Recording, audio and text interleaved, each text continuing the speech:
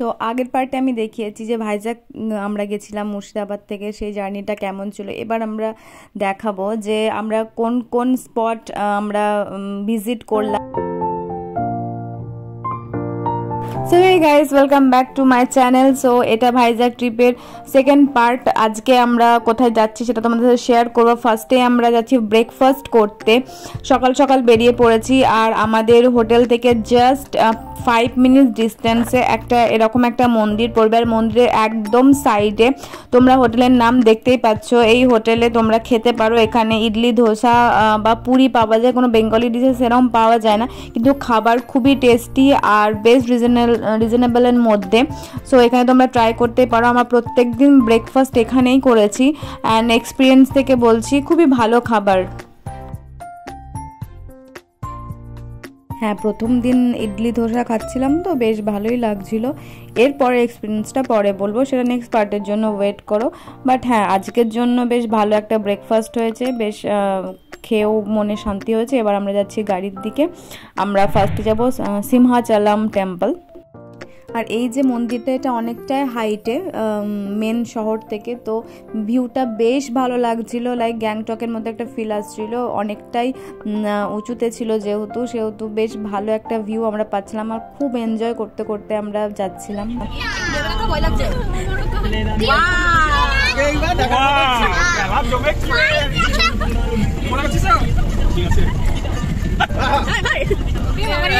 ভিতরে মোবাইল না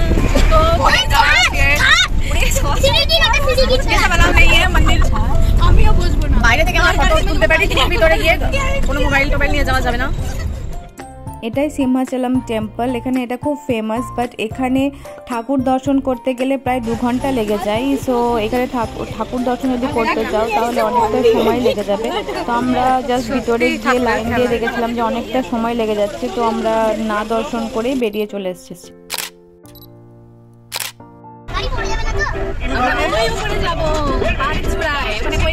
আছে মহাদেব আমাদের জন্য ওয়েট করছে তো আমরা এখন এসেছি কৈলাসগিরিতে রোপওয়েতে যাব। এক্সাইটিং লাগছে, কেমন এক্সাইটেড তুমি? সত্য সত্য ঘুম থেকে উঠতে দাও গাড়িতে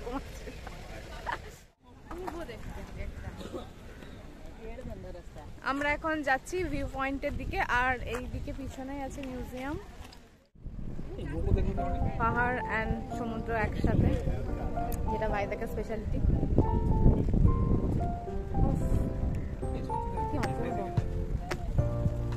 অপূর্ব দেখতে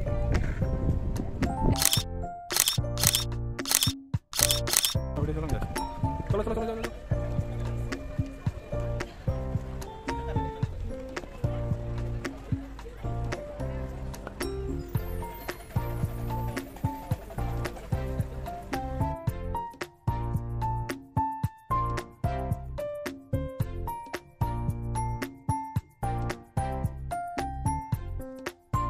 আর এই যে এতটা হাঁটার পর এখানে স্বয়ং মহাদেব এবং পার্বতী বিরাজমান, খুবই সুন্দর একটা মূর্তি মানে একটা নয়, দুটো মূর্তি। এত সুন্দর যে হয়তো ফোনে ক্যাপচার করতে পারিনি চোখে না দেখলে বুঝতে পারবে না যে কতটা অপূর্ব মানে স্থাপত্য কার্য মানে অসাধারণ। কৈলাসগিরে দেখার মতো এই মূর্তি আর কিছু ভিউ পয়েন্ট ছাড়া কিছুই সেরকম দেখার নেই। এটা একটা পার্ক টাইপের বাচ্চাদের জন্য অনেক রকম ইনস্ট্রুমেন্ট ছিল খেলার। আর হচ্ছে এখানে রোপ ওয়ে এবং টয় ট্রেনের মাধ্যমে ভিউটাও দেখানো হয়। তো আমরা ডিসাইড করি যে রোপ ওয়েতে আমরা যাব, যেটা বিচ পর্যন্ত নিয়ে যায়, আবার নিয়ে আসে।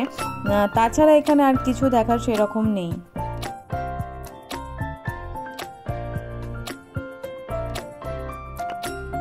কৈলাসগিরি থেকে বেরিয়ে আমরা নিয়ে নিয়েছিলাম একটা লাঞ্চ ব্রেক আমাদের যে ড্রাইভার দাদা ছিলেন শ্রীনিবাস সেই একটা বেঙ্গলি হোটেলে আমাদেরকে খেতে নিয়ে এসেছিল। খাবার বেশ ভালোই ছিল, খুব একটা ভালো বলব না, বেশ অ্যাভারেজ খাবার ছিল। তো ওখানে আমরা খাওয়া দাওয়া করে আবার বেরিয়ে পড়েছি, আমাদের নেক্সট ডেস্টিনেশনে যাব বলে। So we are here Tenneti Budha park. I think I am pronunciation right I don't know so অপূর্ব একটা জায়গা মানে আউটস্ট্যান্ডিং ভিউ আউটস্ট্যান্ডিং এতটাই সুন্দর যে এখানে কখন তোমার এক ঘণ্টা, দু ঘণ্টা কেটে যাবে, তুমি বুঝতেই পারবে না। সো ভাইজাকে এলে এটা মাস্ট ভিজিট করো। তোমরা সানসেটের সময় আসলে এখানে মনের মতো সুন্দর সুন্দর ফটোজ অ্যান্ড ভিডিওস নিতে পারবে। খুব ভালো আসে।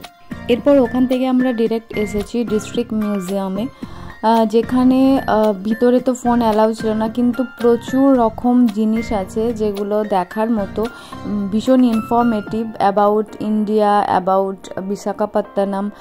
So এগুলো কখনোই মিস করা উচিত নয়। কোনো জায়গায় ঘুরতে আসলে তার ইতিহাস সম্পর্কে জানা অবশ্যই উচিত। তো আমরা সেগুলো দেখেছি অ্যান্ড খুব এনজয় করেছি, যেগুলো খুব ইনফরমেটিভ আমার খুবই ভালো লেগেছে। সো এগুলো আমি ব্লগে দিতে পারলাম না, কারণ ভিতরে ফোন অ্যালাউ ছিল না। সো এখানে এইটুকুই। এরপরে আমরা নেক্সট ডেস্টিনেশনে যাব। সেটা অবশ্যই খুবই একটা ইন্টারেস্টিং জায়গায় যাব। তার জন্য চোখ রাখুন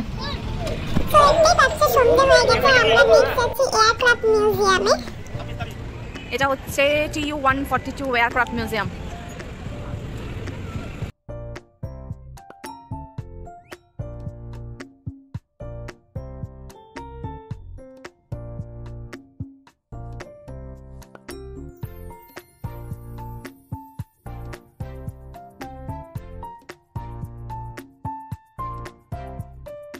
এবার আমরা যাচ্ছি প্লেনের ভিতরে। এটা অ্যাকচুয়ালি যুদ্ধ বিমানের ভিতরে কি কি থাকে এবং সেটা স্ট্রাকচার কী রকম হয়, কীভাবে ওয়ার্ক করে।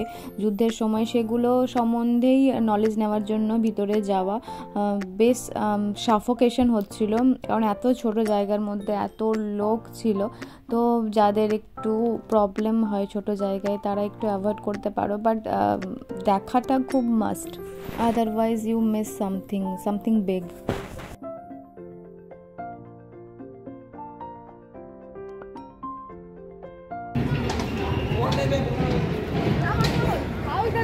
এটা সবাইকে বলব সবাইকে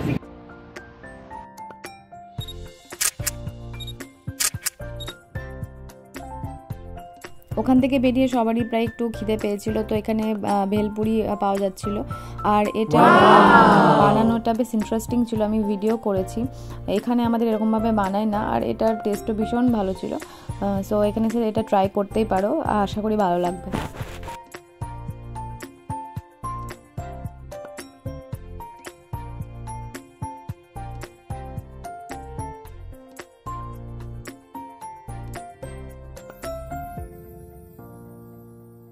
এয়ারক্রাফটের অপোজিটেই সাবমেরিন মিউজিয়ামটা আছে। তো একসাথে দুটোই দেখা হয়ে যায়। সাবমেরিনের এই জায়গাটার ভিউটা অপূর্ব, কারণ এর লেফট সাইডে রয়েছে সমুদ্র। ডে টাইম হলে আমি অবশ্যই শেয়ার করতাম বাট কি অপূর্ব লাগছিল যে, ওখান থেকে আমরা বিচ দেখতে পাচ্ছিলাম। সো ভিতরে ঢুকলাম, এখানেও তাই ভীষণ জায়গা ছোট আর এত লোকের ভিড়।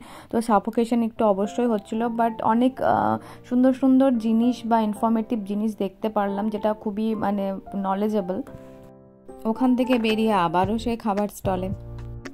অ্যান্ড সাডেনলি একটা এখানকার লোকাল মেয়ে এখানে আসে তার birthday so she sharing cake and R happiness with our cell that so cute কারণ বাচ্চাটা এতই কিউট ছিল যে আমরা ওকে গিফট অ্যান্ড চকলেটসও কিনে দিই, সেগুলোর ফুটেজ নেওয়া হয়নি।